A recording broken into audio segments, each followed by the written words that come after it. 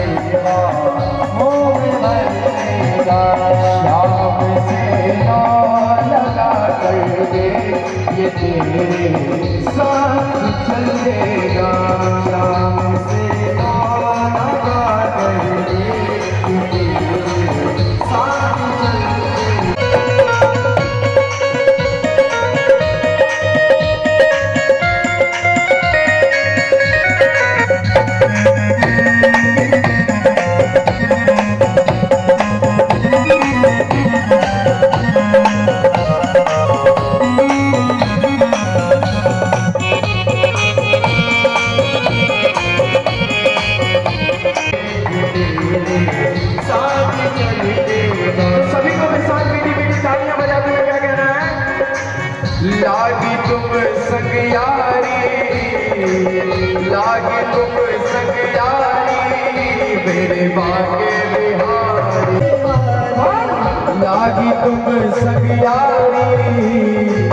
बागे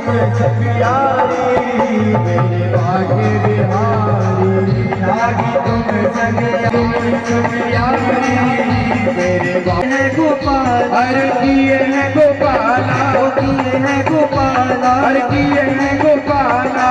किए हैं गोपाला। गटी में पीताम्बर गले में है माला।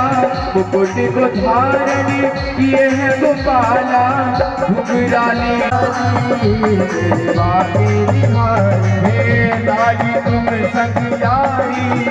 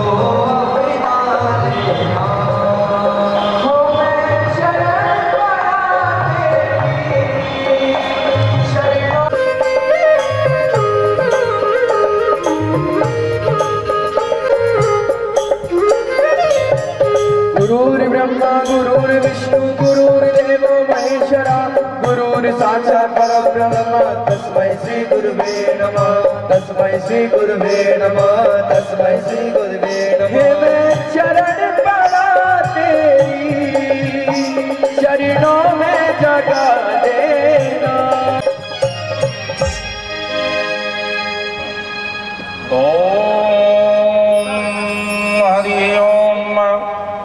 पवित्रं भूत्वा ॐ श्रीमन्महागणाधिपतये नमः। पुराणपुरुषोत्तमाय नमः। शारदा सम्पूजये नमोऽस्तु नन्ताय सहस्रमूर्तये। सहस्रपादाक्षिचुरोरुवाहवे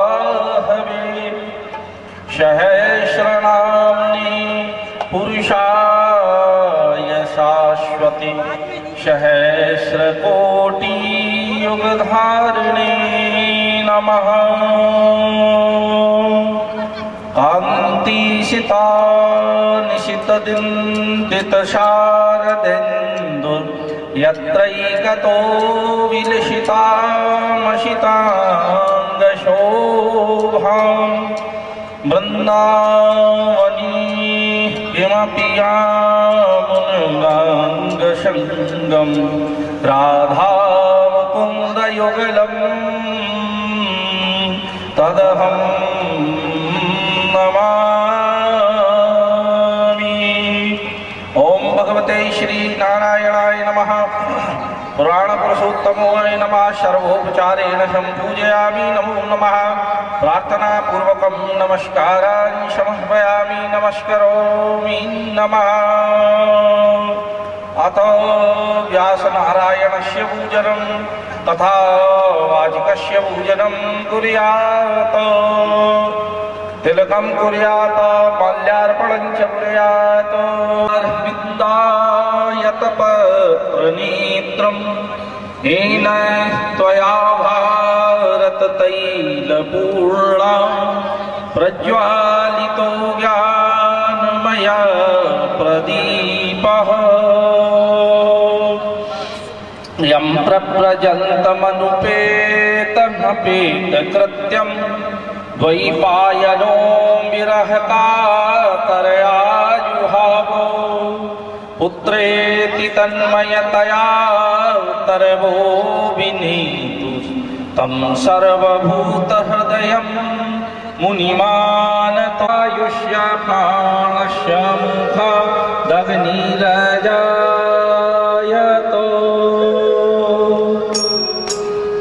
बोलिए श्रीमद् भागवत महापुराण की बाके हरिलाल की जय। भगवान आरती। पापियों को पाप से है तारती भागवत भगवान की है आरती। पापियों को पाप से है तारती श्री भागवत भगवान की है आरती। पापियों को पाप से है भागवत भगवान की है आज की। आप पाप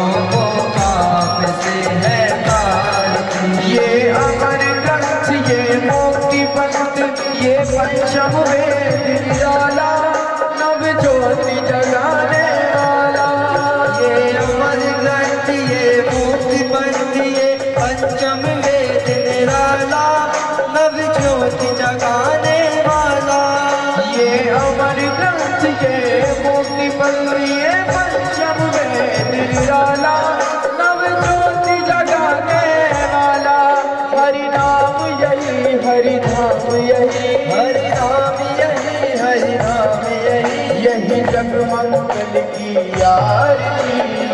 पापियों को पाप से है भाग भगवान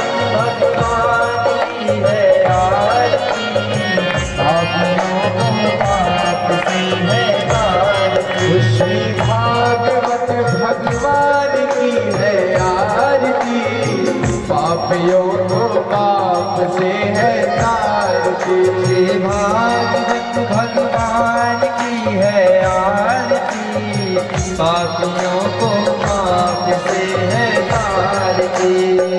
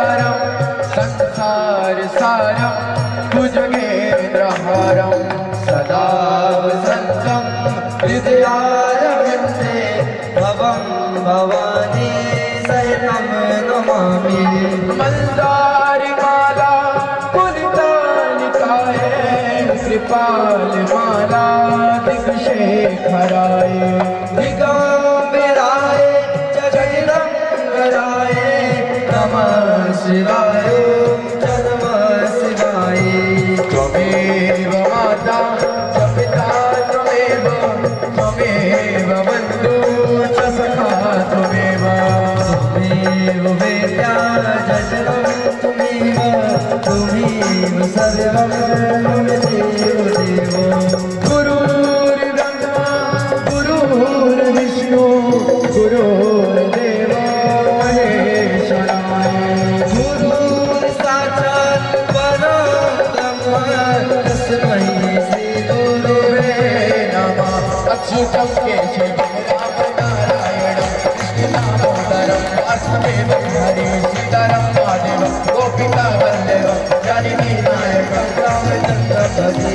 हरे राम हरे राम राम राम हरे हरे हरे कृष्ण हरे कृष्ण कृष्ण कृष्ण हरे हरे हरे राम राम राम हरे हरे कृष्ण हरे कृष्ण हरे राम हरे राम राम राम हरे कृष्ण हरे कृष्ण कृष्ण हरे राम हरे राम राम राम हरे कृष्ण हरे कृष्ण कृष्ण हरे राम हरे राम राम राम हरे हरे कृष्ण हरे कृष्ण कृष्ण कृष्ण हरे हरे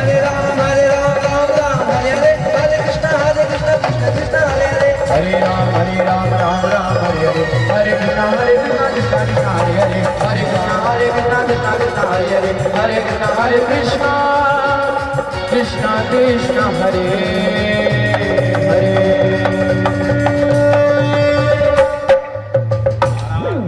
नीराञ्जनं समर्पयामि जलयः।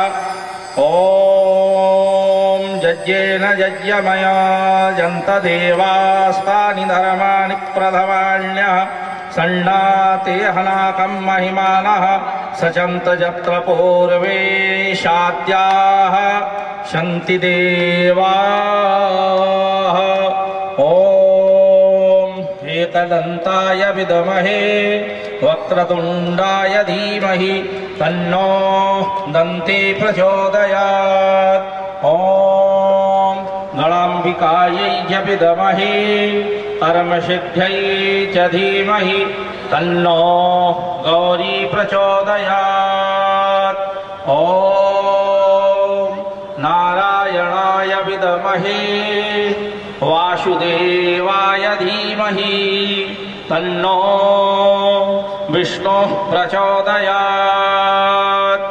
ॐ नानासुगन्धपुष्पाणि यथा कालोद्भवानि च पुष्पाञ्जलरभया दत्तो ग्रहाणो परमेश्वर ॐ पुराण पुरुषोत्तमाय नमो नमः। मन्त्रपुष्पाञ्जलिं समर्पयामि नमः। घूमकर भागवत भगवान की प्रदक्षिणा करेंगे।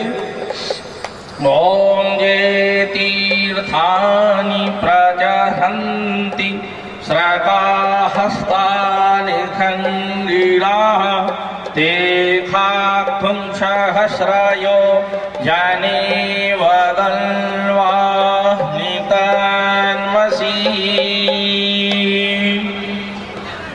इस श्लोक का उच्चारण करेंगे।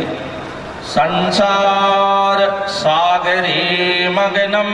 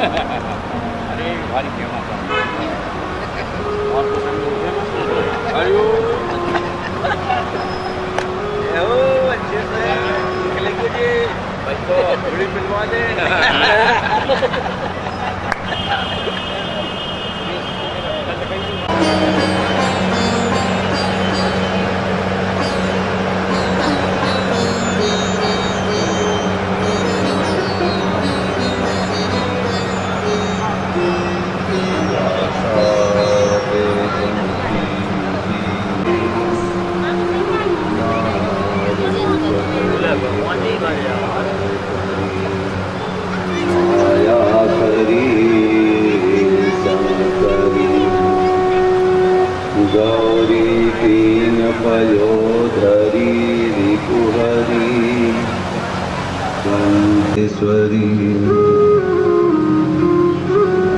नमोऽस्तु रामाय सलाक्ष्मणाय देव्यै च तस्यै जनकात्म। नमोऽस्तु रुद्रेन्द्रयमानिलेभ्यो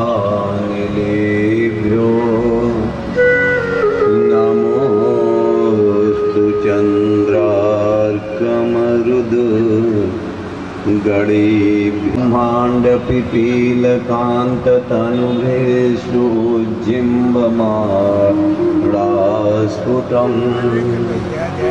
जाग्रस्वविलसत् गोपीसहस्रावृतम् हस्तान्यस्तनतापवर्गमखिलो दारं किशोराकृति श्रीकृष्णाय वयं नमः।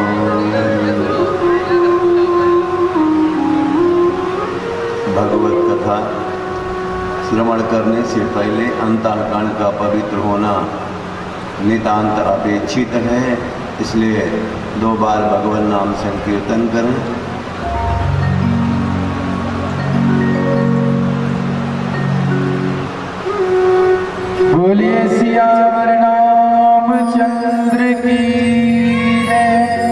राधा रानी सरकार की।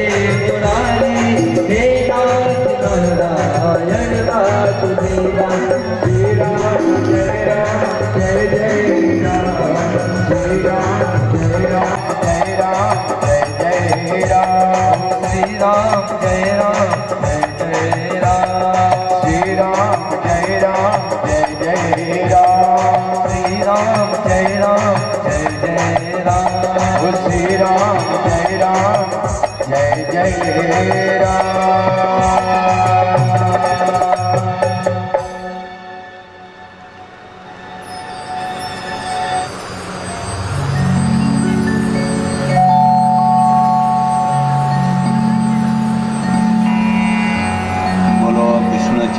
भगवान की।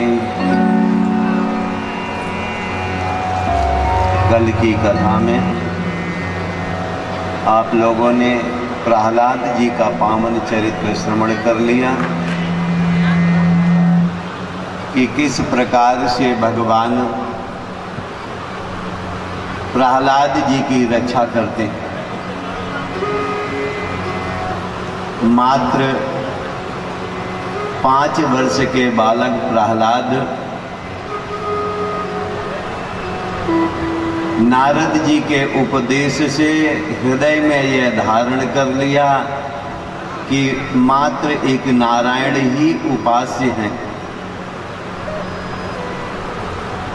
और वह नारायण सब जगह व्यापक हैं कण कण में हैं, सब काल में हैं, और सर्व समर्थ हैं, सबसे बड़े दयालु हैं यह बात हृदय में धारण कर लिया। और प्रहलाद जी के आत्मविश्वास को देख करके जब प्रहलाद जी ने कहा, भगवान खंभे में भी हैं तो सत्यम विधातुम निजभृत भाषया अपने भक्त के बाणी को सत्य करने के लिए भगवान खंभे से प्रकट हुए। और प्रकट होकर के प्रहलाद की रक्षा किया और हिरणा कश्यप का उद्धार किया। आगे श्री सुखदेव जी कहते हैं,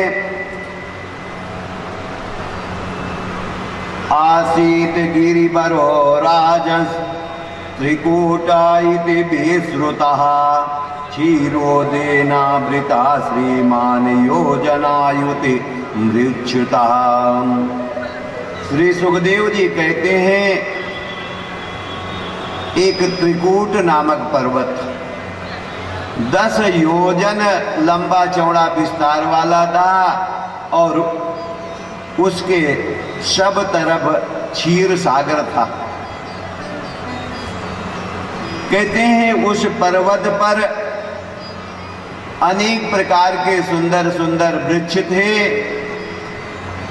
और अनेक प्रकार के जीव भी निवास करते थे। सिंह, बाराह, हाथी, हिरण आदि अनेक प्रकार के जीव उस वन में निवास करते थे।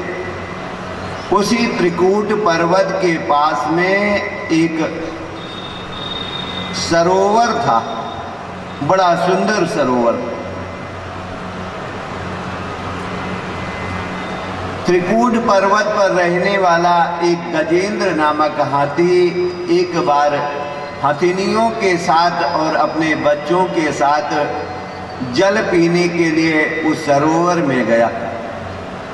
वहाँ जाकर के उसने जल पिया और जल पीने के बाद मन में आया, स्नान करें तो जलाशय में उतर गया।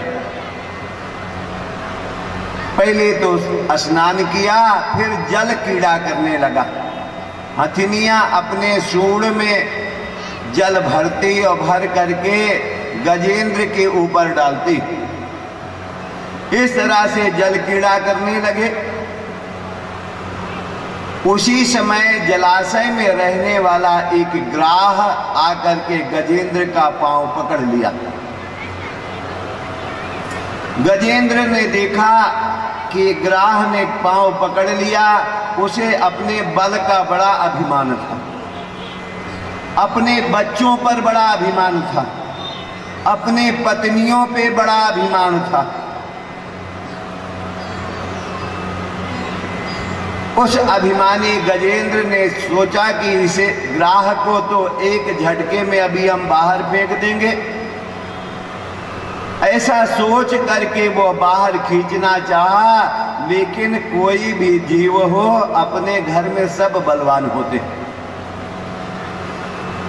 वो ग्राह जलाशय में था, इसलिए वह बड़ा बलवान हुआ, और गजेंद्र बहुत प्रयास करने के बाद भी ग्राह को बाहर खींच नहीं पाया। काफ़ी समय तक युद्ध चला। कभी ऐसा लगे कि गजेंद्र ग्राह को बाहर खींच ले जाएगा, और कभी ऐसा लगे कि ग्राह गजेंद्र को जल के भीतर खींच ले जाएगा। गजेंद्र की सहायता उस समय हथनियाँ भी कर रही थी, उनके बच्चे भी कर रहे थे, लेकिन हथनियों और बच्चों ने देखा कि ये काफ़ी समय हो गया लड़ाई करते, लेकिन सफलता नहीं मिल रही है तो अंत में हथनिया और बच्चे छोड़ करके चले गए। जब हथनिया और बच्चे छोड़ करके चले गए तो गजेंद्र अपने बल पर युद्ध करता रहा, लड़ता रहा, लेकिन अंततः एक तो वो कुछ खा पी नहीं रहा था। शरीर धीरे धीरे कमज़ोर हो रहा था और दूसरा वो दूसरे के घर में था। इसलिए कमज़ोर पड़ गया और अंततः ग्राह गजेंद्र को खींच करके गहरे जल में लेकर चला गया। जब गजेंद्र गहरे जल में पहुँच गया, तब उसे आत्मविश्वास टूट गया। अब उसका अहंकार टूट गया। और वो ये जान गया कि हम किसी भी प्रकार से ग्राह से जीत नहीं सकते। अब हम मारे जाएँगे। जब सब तरफ़ से निराश हो गया, उसने देखा कि हमारी पत्नियाँ भी छोड़ के चली गई, बच्चे भी छोड़ के चले गए। अब हमारा भी बल काम नहीं आ रहा है। सब तरफ़ से निराश हो गया, तब उसने भगवान को पुकारा।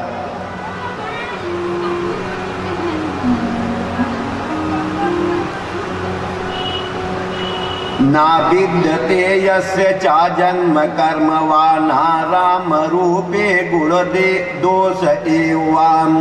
तथापि लोकाप्यज संभवाया स्वामायया तान्यनुकाल मृक्षति गजेंद्र ने किसी देवता का नाम लेकर के नहीं पुकारा। क्या कहा? ना विद्यते यस्य चा जन्म कर्म। जिसका कभी जन्म नहीं होता है, जिसका कोई कर्म नहीं है, जिसका कोई नाम नहीं है, जिसका कोई रूप नहीं है, कहा जो नाम रूप से रहित है, जन्म मृत्यु से रहित है, कर्म से रहित है लेकिन फिर भी अपनी माया से जो जगत की सृष्टि करता है, जो जगत का पालन करता है और अंत में जो जगत को अपने आप में लय कर लेता है, उस परमात्मा की हम शरण ग्रहण करते हैं। उस परमात्मा को हम पुकार रहे हैं, वो हमारी रक्षा करे। नमः आत्म प्रदीपाय साक्षिणे परमात्मने। नमो गिराम विदुराय मनसश्चेत सामपि कहने लगा, नमः आत्म प्रदीपाय जो हमारी इंद्रियों को शक्ति प्रदान करने वाला है, जिसकी शक्ति पा करके ये नेत्र देखने में समर्थ होते हैं। कान सुनने में समर्थ होते हैं बाड़ी बोलने में समर्थ होती है। ये नाक सुगंध, दुर्गंध ग्रहण करने में समर्थ होती है। कहा, उस परमात्मा का हम ध्यान करते हैं। साक्षिणे, कहा, जो सबका एकमात्र साक्षी है।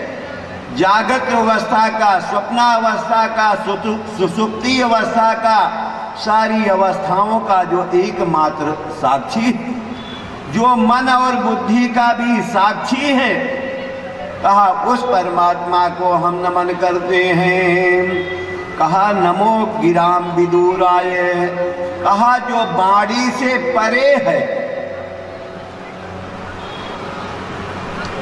जहाँ जिसका वर्णन बाणी के द्वारा नहीं किया जा सकता, मन के द्वारा जिसका चिंतन नहीं किया जा सकता, बुद्धि के द्वारा जिसका विचार नहीं किया जा सकता कहा उस परमात्मा का हम ध्यान करते हैं, उस परमात्मा की हम शरण ग्रहण करते हैं। तुलसीदास जी ने भी कहा, गो गोचर लग मन जहाँ जाई, असो सब माया जानऊ भाई। जहाँ तक मन जा सकता है, जहाँ तक बाणी जिसका वर्णन कर सकती है, बुद्धि जिसका विचार कर सकती है, कहा वो वहाँ तक माया का खेल है। वहाँ शुद्ध परमात्मा नहीं है, वहाँ माया का खेल है। और जिसका वर्णन करने में वाणी समर्थ नहीं होती, लेकिन जिसकी शक्ति के बिना वाणी बोलने में भी समर्थ नहीं है। मन जिसका मनन नहीं कर सकता, चिंतन नहीं कर सकता, लेकिन जिसकी शक्ति के बिना मन चिंतन करने में भी समर्थ नहीं। बुद्धि जिसका विचार नहीं कर सकती लेकिन जिसके बिना बुद्धि जड़ हो जाती है, कुछ भी सोचने में समर्थ नहीं रहती, कुछ भी विचार करने में, निर्णय करने में समर्थ नहीं होती कहा उस परमात्मा का हम ध्यान करते हैं, उसकी हम शरण ग्रहण करते हैं। गजेंद्र ने इस तरह से बड़ी लंबी स्तुति है तो इस तरह से जब गजेंद्र ने भगवान की स्तुति की, पुकारा तो उसी समय भगवान गरुड़ पर सवार होकर के बड़े वेग से चल दिए। कहते हैं जब आधे रास्ते पहुँचे तो गरुड़ को अभिमान हो गया। गरुड़ के मन में आया, यदि आज हम ना होते तो भगवान नारायण गजेंद्र की रक्षा कैसे करते ग्राह से? गरुण बड़े ही वेगवान हैं। कहते हैं, मन से भी ज़्यादा, मन से भी तेज गति है गरुड़ की। जितनी तेज से मन चलता है, उससे कई गुना ज़्यादा तेज गरुड़ की चाल है। तो गरुड़ के मन में ये अभिमान आया कि यदि आज हम ना होते तो गजेंद्र की रक्षा कैसे होती? भगवान ने सोचा, एक की तो हम रक्षा करने जा रहे हैं, दूसरे को रोग और लग गया। वहीं आधे रास्ते में ही गरुण को छोड़ दिया भगवान ने। कहा, तुम्हारी चाल कम है और ग्राह इतने में तो मार देगा। अब गरुण को छोड़ करके भगवान वहाँ पहुँच गए। अपने चक्र से उसका मुख फाड़ दिया, खींच के जलाशय से बाहर कर दिया और गजेंद्र को छुड़ा दिया। भक्तमाल में लिखे हैं कि हा शब्द भगवान ने बैकुंठ में सुना था। हा शब्द उसने हरि शब्द कहा था तो हा शब्द तो बैकुंठ में सुनाई पड़ा था और री शब्द कहने के पहले गजेंद्र के पाँव को छुड़ा दिया था ग्राह से। इतने वेग से पहुँचे थे भगवान। हाँ। भक्तमाल में तो यहाँ तक लिखा कि जब भगवान गजेंद्र को छुड़ाकर वापस जा रहे थे तो जहाँ गरुण जी को छोड़े से वहाँ से एक कदम भी आगे नहीं पढ़ पाए थे और भगवान वहाँ पहुँच गए थे। तब गरुण को लग का अभिमान दूर हो गया था। इससे ये लगता है कि हमको पुकारने में देर है, लेकिन भगवान को आने में देर नहीं। हाँ। भगवान को आने में देर नहीं है, लेकिन भगवान की बस एक शर्त है, निर्बल के बलराम। जब तक आपको अपने पुत्रों पर भरोसा है, पत्नी पर भरोसा है, रिश्तेदार पर भरोसा है, धन पर भरोसा है, यहाँ तक कि अपनी शक्ति पर भरोसा है, तब तक भगवान नहीं आते।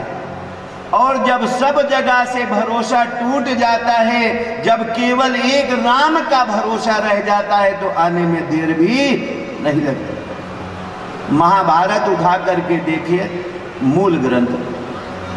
जब द्रौपदी का चीर हरण हुआ, महाभारत में लिखा है यह बात के द्रौपदी ने बार बार पितामह भीष्म की तरफ़ इशारा किया। इसका मतलब पितामह भीष्म पर भरोसा था द्रौपदी को कि इनके रहते हमारी चीर हरण नहीं हो सकती। आचार्य द्रोण पर भरोसा था, कृपाचार्य पर भरोसा था अपने पाँचों पांडवों पर भरोसा था कि इनके रहते जो है चीर हरण नहीं हो सकता। लेकिन महाभारत में लिखते हैं कि जब ये पितामह भीष्म आचार्य द्रोण कृपाचार्य यहाँ तक कि पाँचों पांडव जब सिर नीचे कर लिए, तब भी द्रौपदी को भरोसा भगवान पे नहीं गया। किस पर? अपने पर भरोसा। और उसने साड़ी को दांत से दबाया। इस दांत से दबाने का मतलब अपनी शक्ति पर भरोसा हुआ।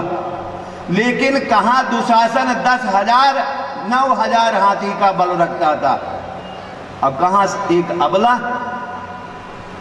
द्रौपदी ने देखा कि हमारा बल भी काम नहीं आएगा, तब उसने कहा, पधारो द्वारिका नाथ शरण में तेरी।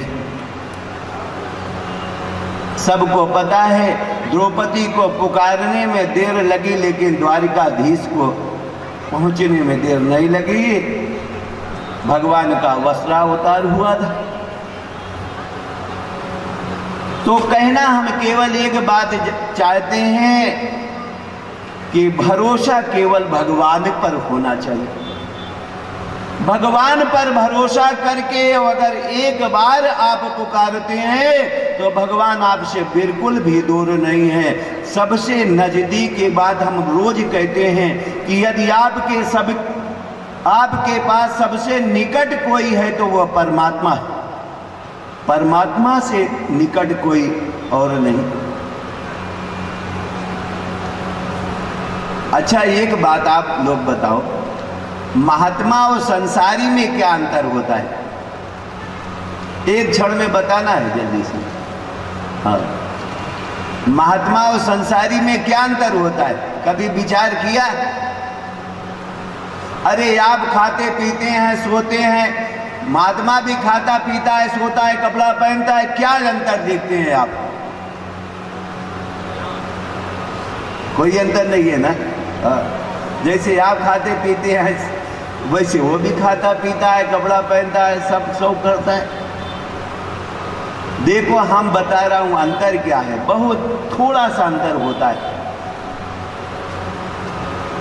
महात्मा के पास भगवत आश्रय होता है और संसारी के पास जनाश्रय होता है।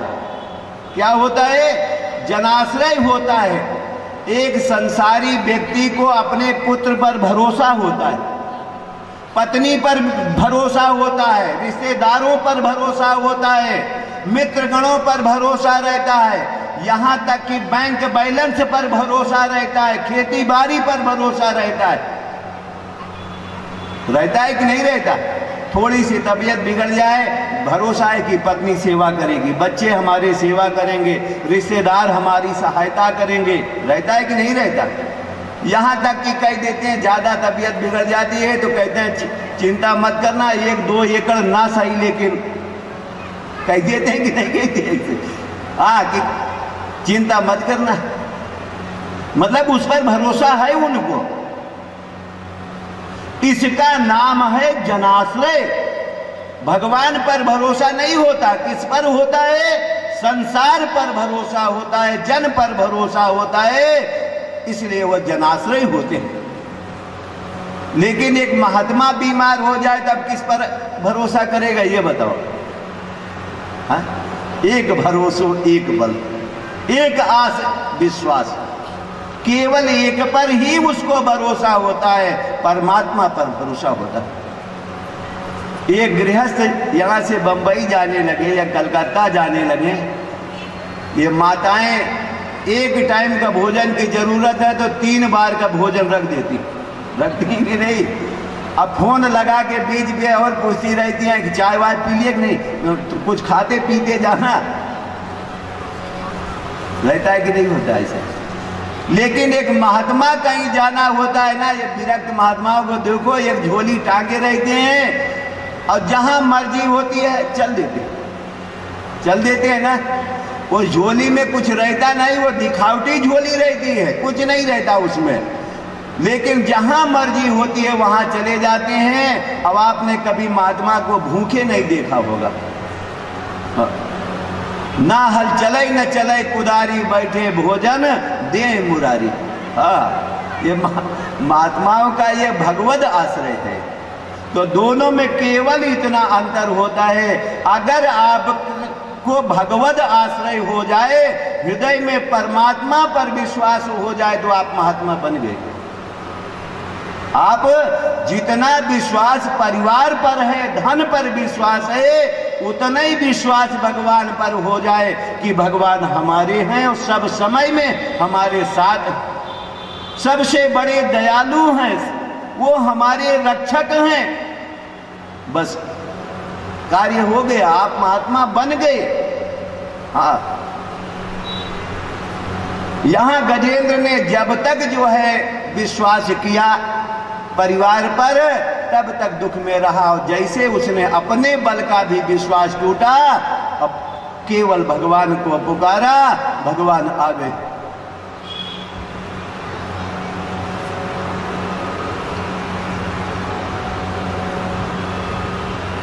हम एक बात कहना चाहते हैं। देखो, परिवार में तो रहना चाहिए धर्म पूर्वक धन कमाना भी चाहिए। यह शास्त्र का मत है।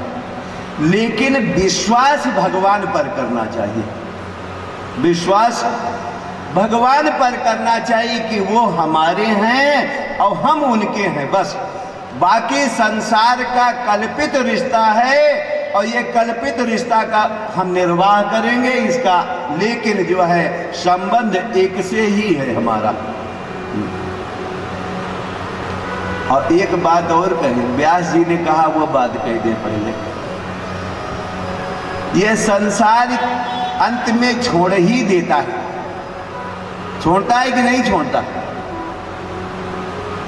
जब तक आप सुख में हैं, तब तक साथ है संसार आपके। और जब आप पर संकट आएगा तो उस समय सारा संसार आपको छोड़ देगा। केवल साथ यदि कोई देगा तो वह परमात्मा आपका साथ देगा, दूसरा कोई साथ देने वाला नहीं।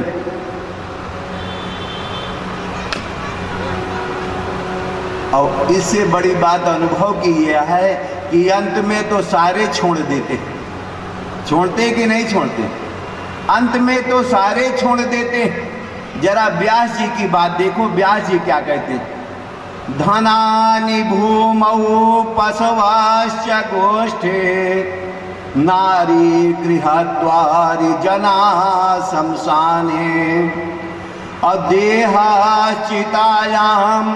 परलोक मार्गे धर्मानुगो गच्छति जीव एक। कहते हैं जब महाप्रयाण होगा, महाप्रयाण माने अंतिम यात्रा होगी तो उस समय में साथ क्या जाएगा। कभी विचार किया ये बात? अंतिम क्षण में साथ क्या जाएगा। व्यास जी कहते हैं, धनानी भूमऊ ये जो धन है, चाहे धर्म पूर्वक कमाया जाए और चाहे अधर्म पूर्वक कमाया जाए, धनानी भूमऊ अंतिम यात्रा के समय यह पृथ्वी पर जहाँ रखा है, वहीं रखा कर रखा रह जाता है।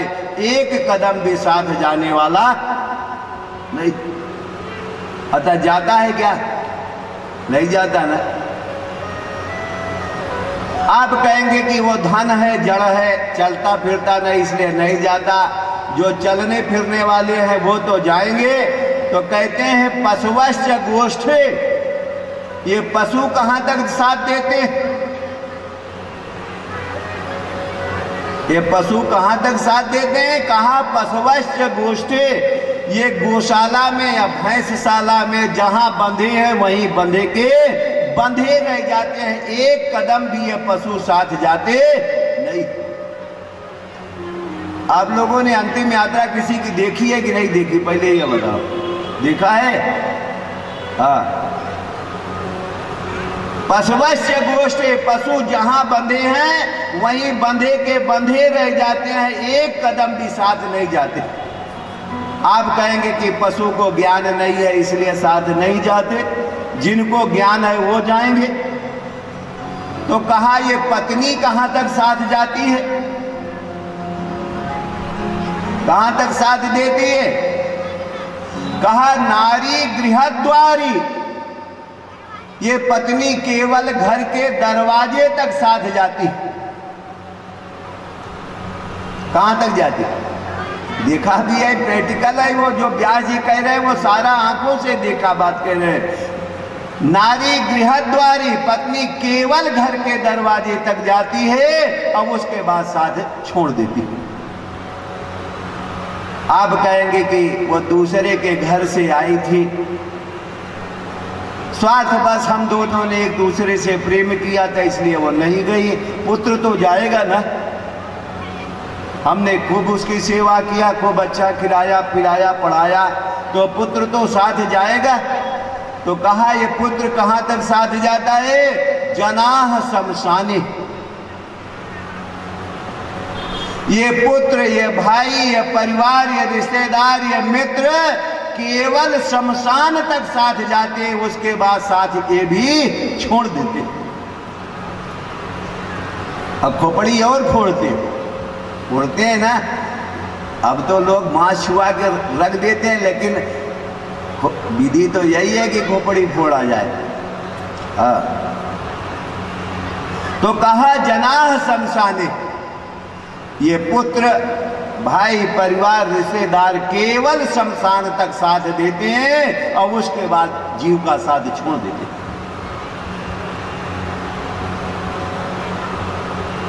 अब आप कहेंगे कि पुत्र, के भी संसार देखने की इच्छा रही होगी, इसलिए वो नहीं गया। ये शरीर तो साथ जाता है ना? शरीर जाएगा साथ? तो ब्याज जी कहते, नहीं नहीं, ये शरीर भी साथ जाने वाला नहीं है। कहाँ जा, तक जाता है? कहा? देहस चितायाम। देहस चितायाम, ये शरीर केवल चिता तक साथ देता है और चिता पर इसको रख दिया, आग लगा देते हैं। और उसके बाद ये पाँच तत्वों से बना हुआ है वह पाँचों तत्व अपने अपने तत्वों में मिल जाते हैं और इसका साथ शरीर छोड़ देता है। अब मन में एक बात आती है कि जब धन साथ नहीं जाएगा, पशु साथ नहीं जाएँगे, पत्नी नहीं जाएगी, पुत्र परिवार साथ नहीं जाता, यहाँ तक कि यह शरीर भी साथ नहीं जाता तो साथ जाता क्या है? क्या जाएगा साथ में? तो कहते हैं धर्मान गो गच्छत जीव एका। जीव के साथ में केवल एक साथ जाता है कौन? धर्मान गो गच्छत जीव एका, धर्म ही साथ में जाता है। आपने महाभारत में सुना होगा कि युधिष्ठिर के साथ में केवल कुत्ता गया था। केवल कुत्ता गया था। वह कुत्ता नहीं था, वो तो धर्म था। तो अंतिम यात्रा में जो है केवल कुत्ता ही, अरे मतलब धर्म ही साथ जाता है। अर्थात जो आपने भगवान का भजन कर लिया, वही भजन आपके साथ में जाएगा। इसके अतिरिक्त कुछ साथ जाने वाला नहीं। अच्छा ये बात सबको पता है कि नहीं पता है? पता है ना सबको? अरे भाई जब आप सबको ये बात पता है कि अंत में ये सारे लोग हमारा साथ छोड़ देंगे तो आज से ही आप इनका साथ क्यों नहीं छोड़ दे रहे हो? जब ये बात पता है कि कल ये हमको धोखा देंगे तो आज ही क्यों नहीं आप इनको धोखा दे देते? छोड़ देना चाहिए ना हाँ। हम तो ऐसे कह रहा हूँ, तुलसीदास जी ने तो गाली दे के कहा। क्या कहा? अंत तो ही तजेंगे पामर, तू न तजय बहीते। ये तुलसीदास जी विनय पत्रिका में कह रहे हैं अंत तो ही तजाएँगे पामर। पामर शब्द कह दिया, वे नीच कहा जिसे आज तू नहीं छोड़ रहा है और अपना मान रहा है, अंत में ये सारे के सारे तुमको छोड़ देंगे। अब लोगों को सबको लग रहा है कि ये बाबा आज क्या कह रहा है। ये कथा किसी को अच्छी नहीं लग रही। हाँ। देखो, हमारा केवल एक भाव है। आप घर में रहो, परिवार में रहो, कोई आपत्ति की बात नहीं है, लेकिन एक बात आप मान लो, हृदय से आप भगवान को अपना मानो और इनके साथ शरीर से व्यवहार करो। शरीर इस संसार का दिया हुआ है तो शरीर जो है इनके साथ कर दो। अब आत्मा भगवान का अंश है तो उसको भगवान के साथ कर दो। बस न्याय कर लो, बस। जो भगवान का है, उसको भगवान को समर्पित कर दो। जो संसार का है, उसको संसार को समर्पित कर दो। बस इतने से कल्याण हो जाएगा। शरीर से आप घर में रहो, मन से घर में रहो, बुद्धि से घर में रहो, लेकिन जो आपकी आत्मा है, उस आत्मा को भगवान को समर्पित कर दो कि हे प्रभु, ये आपका है। एक बार केवल हृदय से ये स्वीकार कर लो कि हे प्रभु, हम आपके बस। केवल एक बार। ये स्वीकार कर लो, बस। इस कथा का केवल इतना आश्रय? ये बताना चाहते हैं कि तुम संसार पर जो विश्वास कर रहे हो, वो ना करके केवल भगवान पर विश्वास करो, संसार में केवल जीवन का निर्वाह करो, बस। अब वहाँ भगवान ने ग्राह को का मुख चक्र से फाड़ दिया। गजेंद्र को छुड़ा दिया और छुड़ाने के बाद ग्राह के लिए विमान आया और वो बैठ करके जा